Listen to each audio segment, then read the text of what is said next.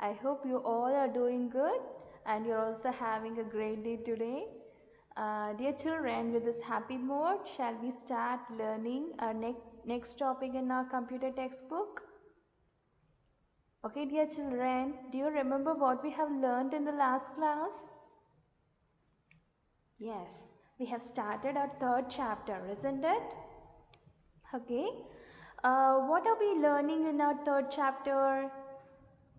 Yeah, it is how to edit text in Word 2013. Isn't it? So topic of your third chapter is editing text in Word 2013. Okay. So now uh, already first few topics we have covered isn't it?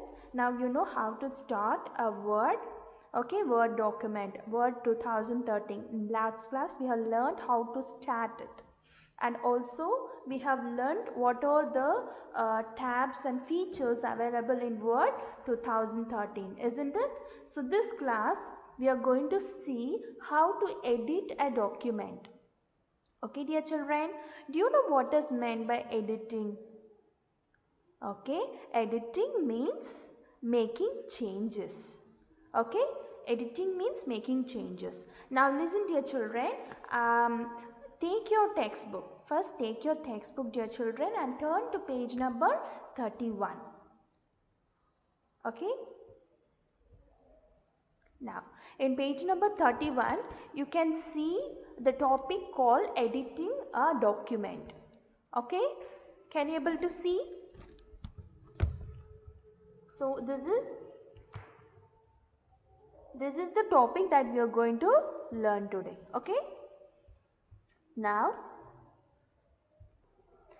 listen dear children, look here, can you see these words? Take your pencil and underline this. Editing means making changes to your text. Okay, underline these words.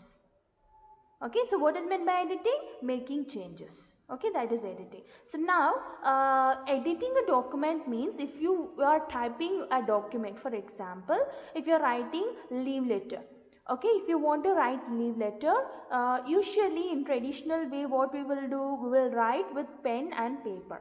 Isn't it? Okay if you write with pen and paper uh, if you want to make some change we'll use eraser. Isn't it? We have ink eraser or uh, nowadays we have some wiper. Okay so using that we can change what we have written. Or else we can throw that paper and we can take a new one. Isn't it? Whereas in computer, if you are using a Word document to type a leave letter, uh, in between if you if you want to make some change, if you want to erase something or if you want to add some point in between, how will you do that? Okay, so that part is called editing a document. Okay, so that is what we are going to learn today. Okay, how to make that change. Now for that what you should do. First of all you should open the document that you already know isn't it? Start all programs. In that you have to select uh, Microsoft Word 2013 okay? When you double click on that your Word document will appear isn't it? First let me explain you theoretically and let's practice it after that. Okay dear children? Now uh, and also dear children in this chapter we are going to learn how to edit using mouse and keyboard. Okay? So both things we are going to learn. How to edit using mouse and how to edit using keyboard. Okay? Now first of all you have to place the cursor to the left of the first character. Okay? The children can you able to see this picture? Figure 3.2 and 3.3 okay so first of all you have to place the cursor here to the left of uh, the first character. Okay?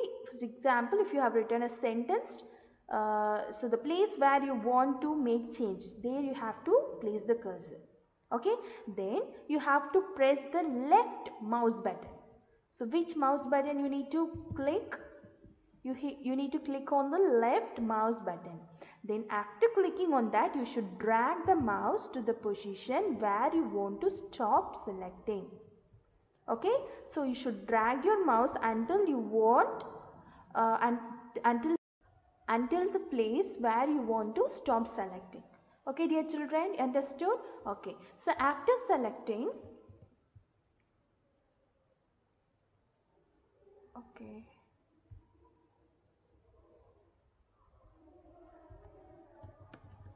Okay? After selecting that you should release your mouse button. Then you can see a change in your document. See here uh, the healthy uh, eat healthy be healthy. Okay? Before selecting it it looks normal. After selecting can you able to see a gray background behind the words?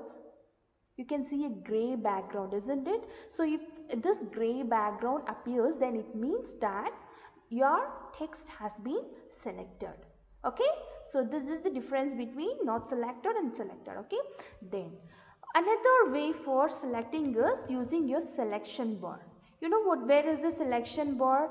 So the space can you see a space between this uh, ruler okay? This ruler and your text okay? This small space between the ruler and the text where your first letter begins. This small space is called selection bar.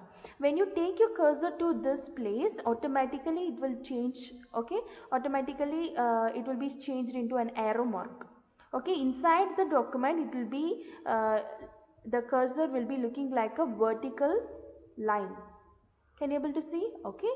So whereas if when you take your cursor between the space it will look like an arrow mark okay so using using this selection when you uh, when you click on the selection mark uh, selection bar okay your text will be selected. Okay uh, I'll show you how to do that. Okay first let's see. Let's uh, let me explain you all, all the ways of selecting a text. Then we can do it practically. Okay dear children now. Look at this table dear children, table 3.2. Selecting text using the mouse. Okay, how to select a text using mouse. So for selecting one word, you should double click on that particular word. Okay, for example, if you want to select this required, you should double click there. If you double click there, can you able to see it has been selected. Okay, only that particular word will be selected okay then if you want to select a line of text okay this line of text if you want to select you should go to the selection bar. See let's see here. This is selection bar. Here can you see the changes dear children? Here in between the text in the text area your uh, cursor looks like an, uh, a vertical line whereas if you go this side it looks like an arrow mark isn't it? So when you go to the selection bar and when you uh, click there okay when you click there it will be turned into uh, it, the particular line will be selected. Okay that I'll show you how to do okay? Then for selecting multiple lines more than one lines you should click and drag the selection bar. Okay then for selecting a paragraph you should double click on the selection bar. Okay so if you want to select this particular paragraph you should double click here. Then the entire paragraph will be selected okay? Then for select for selecting a sentence you should uh, you should press and hold the control key. Okay? You have a key called control key ctrl it will be written on the keyboard. Okay? One of the key on top of one of the key it will be written ctrl you should press and hold that key. And after that you should take your mouse okay? You should take your mouse cursor and click anywhere in the sentence okay both you should do simultaneously. Okay at a time you should do. You should press and hold the control and you should click on the sentence. Then the entire sentence will be selected. Okay then for selecting the entire document okay for selecting the entire document you should triple click on the selection bar.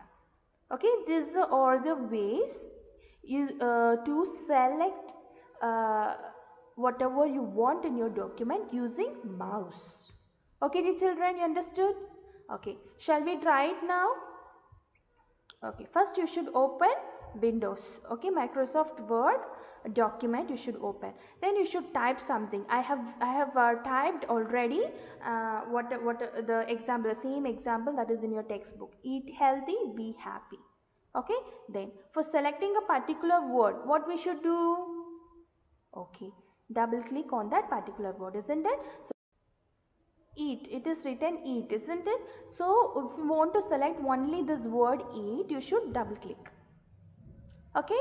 I double clicked it. Immediately you can able to see a gray background behind it isn't it? Okay. For selecting a particular line uh, what what we should do? What we have I have told you? Okay we should go to the selection bar. Can you able to see the difference dear children? See look at the cursor. It is looking like I here isn't it? When you go to the selection bar it looks like an arrow. So when it once it turns into an arrow there you should click. Okay single click is enough. So when you click there can you able to see the entire sentence got selected? Entire line i'm sorry. The entire line got selected. Okay so now uh, next thing is uh, if you want to select two lines i mean a sentence okay what you should do? Okay double click. If you give double click once again there is a spelling mistake here okay? Now uh, listen children. So now when you double click on the selection bar it gets selected. So the entire things thing got selected okay so now it is only two lines. In this document I have typed only two lines. If you are typing more than two lines if you are ty typing a paragraph or if you are typing a document consisting of two to three pages and if you want to select everything what you should do you should triple click on the selection bar. Okay dear children you understand? And uh, I also told you we should press and hold the control and click on a particular word click near a particular word then the entire sentence will get selected okay dear children so will you try this in your house okay after this class you should try this uh, in your house. You should type at least or you can copy paste a document consisting of two or three pages and try all the options. Okay dear children.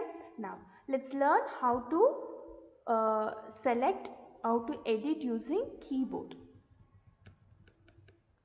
Okay. Now for editing using keyboard you should follow this table. Okay. Now one character to the left okay if you want to select only one character to the left of the cursor where you are placing you should press shift plus left arrow okay? There is an arrow like this. Okay? This there is an arrow like this in your okay? Left this is left arrow. Okay? There is an arrow like this in your keyboard. Okay? You should press that and the shift key. Okay? In the keyboard simultaneously. If you do that left character will be selected. And if you press press shift key and the right arrow right character will be selected. Okay? And if you want to select one line on entire line above up okay then you should press press the shift key and the up arrow. This is the up arrow. It will be in your keyboard okay? Then if you press the down arrow on the shift key down line will be selected okay? Then if you press shift key and the end key there is a key called end key okay? It will be written end okay so that key. If you click then uh, the end of the current line will be selected. Okay current first the cursor. Current line means the line where your cursor is placed. Okay that is current line. So end of that line will be selected. Okay to select beginning of the current line you should press shift and home simultaneously okay home key. There is a key called home key in your keyboard. Okay you should check out these keys dear children okay? Where is end key? Where is home key? It will be written on top of each keys. So you can check that in your keyboard okay? Then to end the uh, to select the end of the current document okay? End of the current document not current line okay? Current document. End of the current document shift key control key and end key three two keys together you should press and hold okay and to select the beginning of the current document shift key control key and home key together okay then if you want to select the entire document as I have told you uh, if you have a document consisting 3 to 4 pages. Then for selecting the entire document, you should press control key plus A. Okay, there is a key, A key, isn't it? Alphabet A. So you have to simultaneously press both. So the entire document will get selected. Okay, so now look here dear children. So, so the current line means look at the vertical line. So the vertical line is where your cursor is placed. Okay, so if you want to uh, select left then shift plus left arrow one character to the left. Can you see the difference? Only this character T alone is selected. Okay, once again I will do look at this vertical line. If you want to select left character, you should press shift left key, left arrow key. Okay, then if you want to select right, what is the letter right to that uh, vertical line? H, isn't it? So shift plus right key. Okay, so you should place near to that. Can you see? Okay, this is how you should select. Okay, so if you want to select everything, control plus A. Okay, understand dear children? So this is how you need to do. You have to try this using a document. Okay, will you try this dear children? Okay.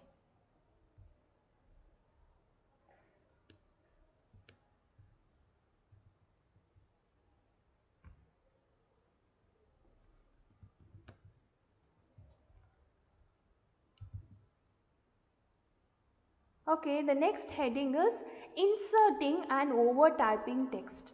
How to insert and over type a text.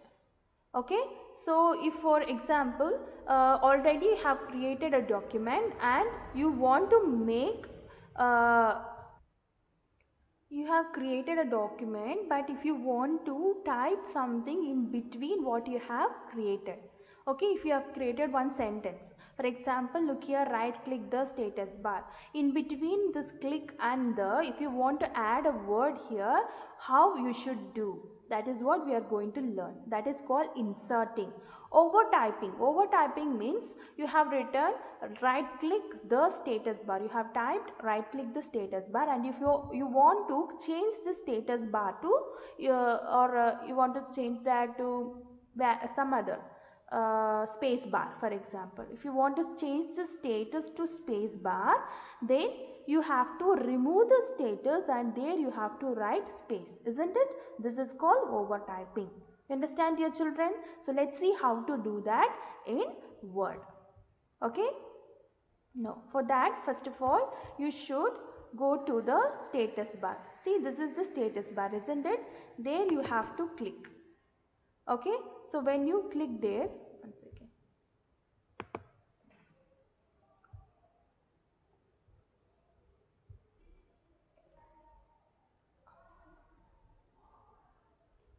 you you should click on the right click on the status bar. This is the status bar. Isn't it dear children? So there you should give a right click.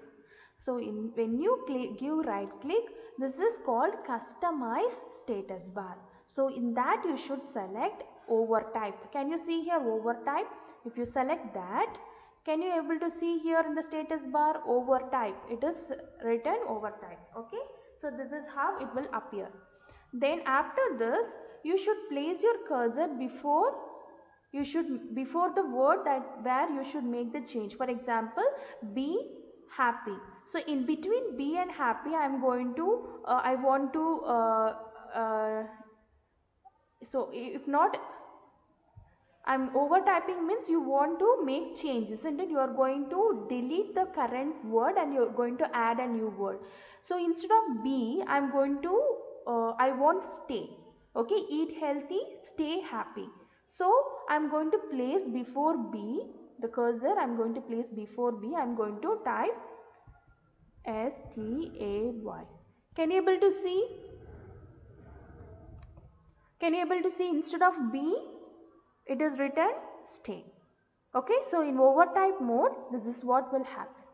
Okay so if you want to insert something you should click on this overtype so it will be changed to insert. Can you able to see? Now instead of uh, in between stay and happy I am going to I want to insert. So I am going to uh, place the cursor in between stay and happy and I am going to type M O R E more. Okay. So in between stay and happy it is uh, uh, more the word more is added. Can you able to see the changes dear children? This is how you have to insert and overtype text. Okay dear children you understand? So now uh, today we have learned how to edit a document isn't it? How first of all we have learned how to select a document using mouse and keyboard and we also learned how to insert and overtype a text isn't it? So so that is all for today dear children. I want all of you to practice this at your house. Okay only if you practice it will you you will remember it better and you also will get doubts so if you get doubts, you can contact me through my personal WhatsApp number. Okay dear children. So now, uh, so today's task. Okay. So task to do today. Today you should learn from page 31 to 34 and you should practice them. Okay and I also will give you a worksheet today. Okay. Fill-ups and true or false which you should do in your textbook uh, fill-ups and true or false I'll be sending uh, in WhatsApp group. Okay. So you have to download that and you have to practice in your textbook. Okay dear children. Now. Okay dear children. Thank you. Have a great day.